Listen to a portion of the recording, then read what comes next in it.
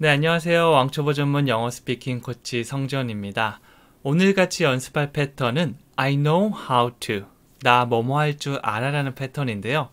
I know라고 하면 나는 알아. 그리고 이제 뒤에 무엇을 하는지 나타내면 되는데 how to에다가 동사 원형 형태를 붙이면 뭐뭐 하는 방법을 말하거든요. 뭐 뒤에 다양한 동사를 넣어서 먹는 방법, 요리하는 방법, 가는 방법 등등 다양한 걸 넣을 수 있겠죠. 그래서 뭉친 표현 I know how to. 나 뭐뭐 하는 거 알아. 뭐뭐 할 줄 알아. 이런 패턴이 완성되는 거죠. 자, 뒤에 다양한 덩어리 패턴들을 넣어가지고 문장을 완성시킬 수 있습니다. 자, 그럼 지금부터 저와 같이 해볼게요. 첫 번째는 나 그거 할 줄 알아. 가장 기본적인 표현이죠. 영어로 얘기하면 I know how to do it. 뭔가를 하다라고 할 때 우리가 do라는 동사를 사용할 수 있죠. 그래서 우리가 I can do it. 할 수 있다라는 can을 사용해서 나 그거 할 줄 있어. I can do it. 나 할 수 있어. 이번에는 할 수 있어라는 느낌인데요. I know how to를 붙이면 뭐뭐 하는 방법을 아는 거죠. I know how to do it. 나 그거 하는 방법 알아. 네, 그래서 뭐 특정, 뭐 고치다 아니면 뭐 먹다 이런 거 할 수도 있지만 네, 동사가 기억이 안 나면 그냥 하는 동작은 두로 표현해 주셔도 괜찮습니다. 그래서 막 핸드폰 이거 하고 있으면 어, I know how to do it. 혹은 친구가 나 이거 할 줄 아는데 이거 너 할 줄 알아? I know how to do it. 이렇게 표현해 주시면 됩니다. 그래서 이거를 1번 문장으로 가져왔고요. 이거를 가장 기본으로 삼아서 나중에 다른 표현으로 확장해 가시면 됩니다. 다시 해볼게요. I know how to do it. 좀 더 자신감에 찬 표정으로 I know how to do it. 이렇게 표현해 주시면 됩니다. 자, 계속해서 가볼게요. 자, 이번에는 그거를 다루는 방법을 알아요 라고 했는데요. 영어로 얘기한다면 I know how to handle it. handle 하면 무언가를 다루다라는 느낌이 됩니다. 뭐 핸드폰을 다룰 수도 있고요. 아니면 어떤 기계를 다룰 수도 있고요. 네, 이렇게 다양하게 무언가를 다루다라고 할 때 handle. 이게 손의 의미를 가진 hand랑 비슷하죠. 네, 손을 사용해서 무언가를 다룬다는 느낌으로 확장해 가셔도 괜찮습니다. 그래서 동사가 그냥 do에서 handle로 바뀌었다고 보시면 됩니다. 네, 그냥 뭐 I know how to handle it이라고 얘기하지 말고 I know how to. 자, 이 패턴이 바로 한 번에 나올 수 있게 I know how to. 이걸 얘기하면서 머릿속에 뭐뭐 하는 방법을 알아라는 의미를 머릿속에 떠올려 주시면 되는 거죠. I know how to handle it. I know how to handle it. 자, 그래서 이렇게 쭉 보면서 집에 가전기기 같은 거, 뭐 TV라던가 컴퓨터라던가 스마트폰이라던가 이런 걸 보면서 얘기해 보시는 겁니다. 핸드폰 딱 이렇게 치고 I know how to handle it. 나 이거 다룰 줄 알아. 이런 표현이 되는 거죠. 자, 그리고 나도 비밀을 지킬 줄 알아요. 라고 했는데요. 뭐, 친구가 나한테 입이 가볍다고 뭔가 비밀 얘기 같은 거, 아니면, 아, 이거 얘기하기 좀 그런데 라고 하면, 저도 비밀을 지킬 줄 안다고요. 라고 얘기할 수 있겠죠. 이거 영어로 하면, I know how to keep a secret. keep a secret 하면 비밀을 지키다, 비밀을 쭉 가지고 가는 거죠. keep이 뭔가를 쭉 유지하고 뭔가 그런 느낌이고요. secret이 비밀이죠. 그래서 keep a secret 하면 비밀을 지키다라는 표현이 됩니다. 자, 그래서 요거 이제 여러 가지 단어가 아니고 I know how to라는 단어 하나, keep a secret 이런 단어 하나 두 개가 있다고 보시면 돼요. 그래서 두 단어를 얘기한다고 생각하면 많이 어렵게 느껴지진 않을 겁니다. 예를 들어서 우리가 감사합니다라고 할 때도 thank you 요거 두 개 얘기하는 거잖아요. thank you. 그래서 이것도 I know how to keep a secret. 한번 더 해볼게요. I know how to keep a secret. 이렇게 keep a secret이 아니고 keep a secret 하면 얘기할 때도 훨씬 더 편하고요. 들을 때도 한 번에 이해될 수 있고요. 나중에 좀 바꿔 말하기 같은 거 할 때 I will keep a secret. 내가 비밀을 지킬게. 이렇게 덩어리별로 하면 훨씬 더 자연스럽게 나올 수 있을 겁니다. 이거 꼭 기억해 주세요. 자, 이번에 나 체스 할 줄 알아라는 표현은요. I know how to play chess. 자, 이번에 나 체스 할 줄 알아라는 표현은요. 이렇게 합니다. 영어로 I know how to play chess. 자, 이번에는 play chess를 사용했는데요. 요거는 이제 패스, 체스를 할 줄 안다라는 표현이죠. 그냥 성인들이 보통 어울려 논다, 뭐 시간을 보내고 수다 떨고 어디 놀러 간다라고 할 때는요, hang out with라는 표현을 많이 사용하거든요. 그냥 논다라는 느낌이죠. 근데 플레이는 어린아이들이 논다라는 느낌으로 많이 사용됩니다. 그러니까 조금 구분해 주는데요. 하지만 예외적인 경우가 있다면 어떤 뭐 악기를 연주하거나 아니면 스포츠 경기를 하거나 게임을 할 때는 플레이를 사용할 수 있습니다. 그래서 이걸 덩어리로 play chess 이렇게 기억해 주시면 좋습니다. 혹은 나중에 뭐 스포츠를 넣어서 play tennis, play golf, play soccer 등등의 표현으로도 만들 수가 있는 거죠. 나중에 살짝씩 한번 바꿔보세요. 여러분들이 뭐 체스를 둘 줄 아는 분들도 있지만 체스에 관심이 없거나 둘 줄 모르는 분도 있잖아요. 그럴 때는 어 나 골프 칠 줄 아는데 나 테니스 칠 줄 아는데 나 농구할 줄 아는데 이런 느낌으로 한번 바꿔서 내가 할 수 있는 걸 얘기해 보는 거죠. 자, 체스 할줄 아, 기본 느낌이니까 연습해 볼게요.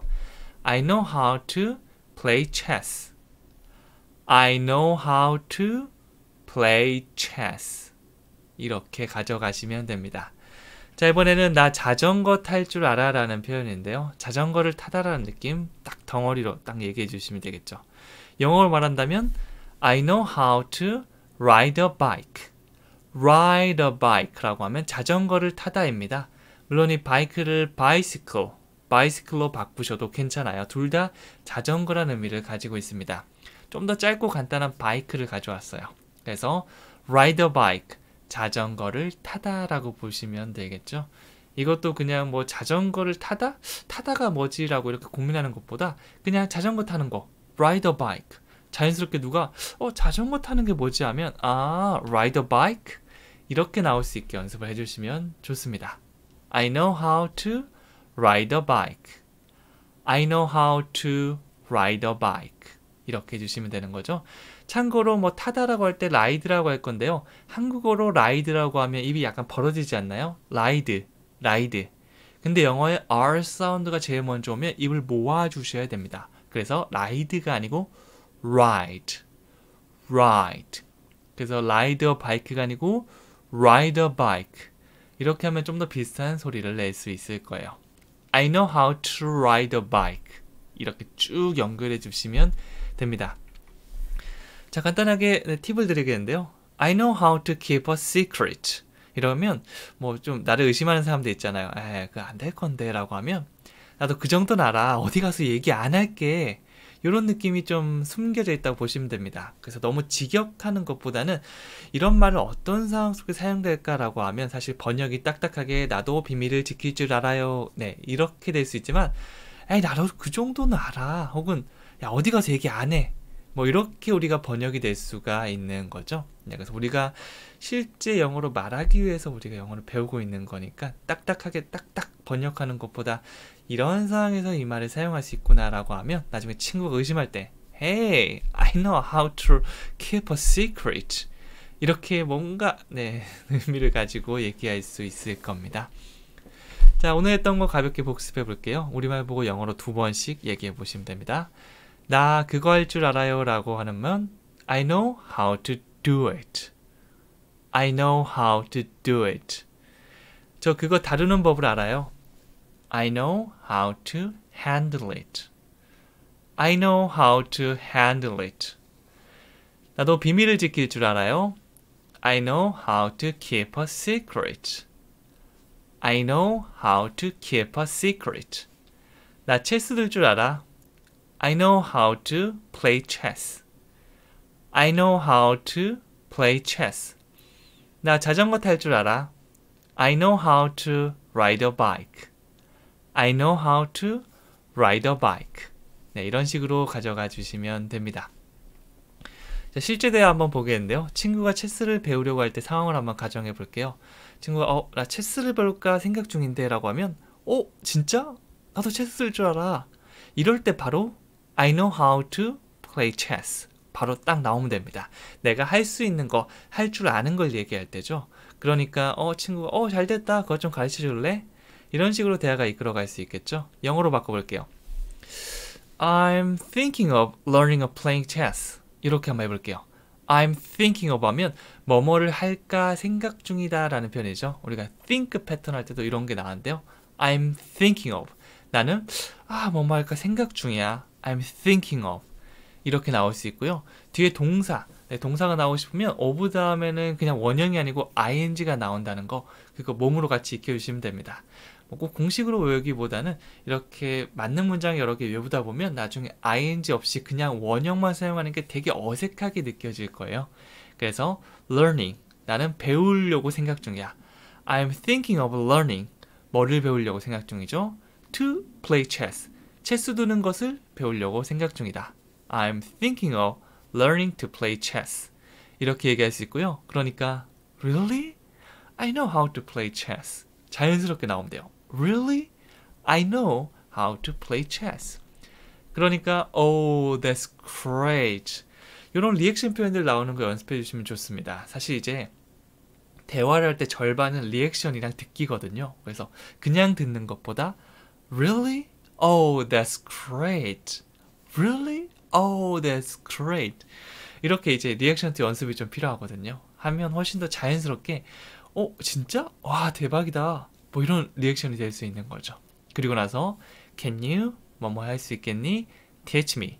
나를 가르쳐 줄 수 있겠니? 라고 말하면서 끝납니다. can you teach me? 이렇게 가는 거죠. 이런 대화 상황도 우리가 이 패턴에 연속되는 느낌이니까 같이 외워두시면 나중에 훨씬 더 도움이 될 거예요. 마지막으로 퀴즈 드리겠는데요. 나는 테니스를 칠 줄 안다. 아까 전에 제가 어떤 스포츠 경기를 할 때, 특히 공으로 하는 스포츠는 우리가 플레이를 사용하거든요. 그래서 테니스를 치다라고 하면 play tennis, play tennis 이거 사용해 주시면 됩니다. 요거 사용해서 나 테니스를 칠 줄 알아 라고 이렇게 글을 적어 주시면 되고요.